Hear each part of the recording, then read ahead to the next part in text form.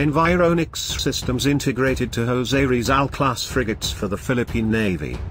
Environics has supplied chemical and radiation monitoring instrumentation to be integrated as part of the nuclear, biological and chemical, NBC, protection system in two frigates ordered by the Philippine Navy, to be delivered during 2021.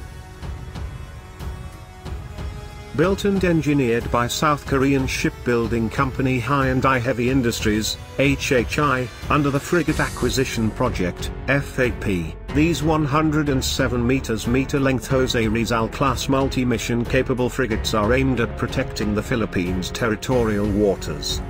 Environics designs and supplies naval and maritime CBRN monitoring solutions globally, to a wide range of vessel types, ranging from frigates to marine rescue vessels. Our naval and marine CBRN monitoring systems have been proven to fulfill classification society requirements, in accredited laboratory tests.